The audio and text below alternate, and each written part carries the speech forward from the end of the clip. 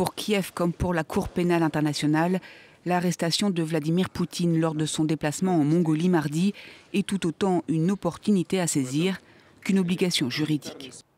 Nous appelons les autorités mongoles à se conformer au mandat d'arrêt international et à transférer Vladimir Poutine à la CPI. La Mongolie est membre de la Cour pénale internationale, signataire depuis plus de 20 ans du statut de Rome qui impose à chaque État membre d'arrêter toute personne sur son sol visée par un mandat d'arrêt de la Cour. C'est le cas pour le président russe depuis mars 2023 pour crime de guerre, accusé de déportation illégale d'enfants ukrainiens depuis le début de l'invasion russe.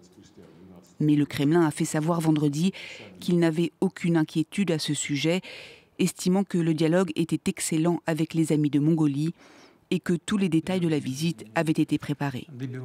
C'est le premier pays membre de la CPI que Vladimir Poutine visite depuis l'émission du mandat d'arrêt.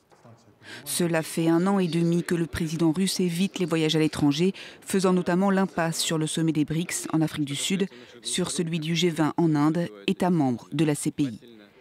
Mais il s'est notamment rendu en Chine, en Corée du Nord et au Kazakhstan, trois pays non signataires du statut de Rome.